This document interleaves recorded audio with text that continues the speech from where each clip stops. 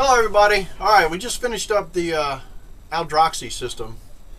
Uh, had quite a few challenges on it, but it, it turned out pretty good. Uh, it's 99% finished. I've got to uh, do some more testing on it to make sure everything's uh, properly adjusted uh, to where we need it, and I think it's pretty much done. It's it it was a challenge to get everything to work the way that it was supposed to work the way that I thought it was supposed to work, but uh, it, it's working pretty good.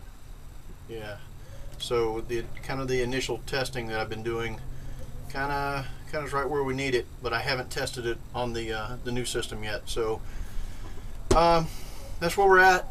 Uh, the Aldroxy system is completed.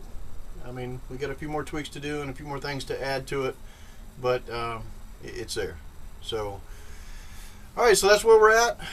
Uh, so we'll see you next video. Take care. All right, just finished up the uh, system.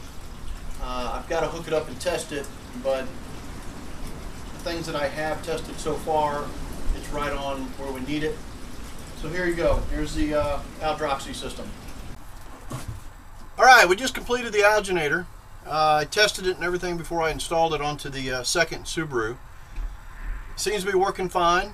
Uh, we won't know 100% until we get everything else hooked up to it. So that's kind of where we're at. We just uh, completed the install um, on the second Subaru. I, have got a small bracket I've got to finish up. Uh, other than that, it's it's ready to go. So we're getting there. So we'll uh, see you next one. All right, we got the alginator all hooked up. I tested it before I installed it on these brackets that I created. I've got one more bracket to fix, but other than that, it's ready to go. So we'll see you in a little bit.